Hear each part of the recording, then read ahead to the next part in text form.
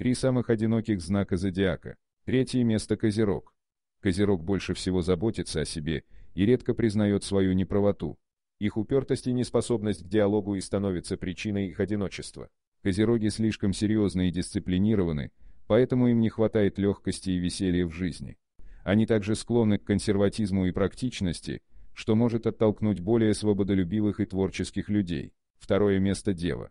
Дева ни с кем не чувствует себя достаточно хорошо. Она не умеет доверять людям. Этот знак зодиака всегда делает все сам, и на работе, и в отношениях.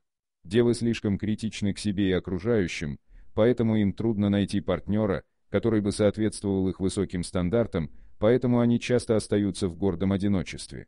На первом месте находится знак который заслуженно занял верхнюю строчку в этом неприятном рейтинге.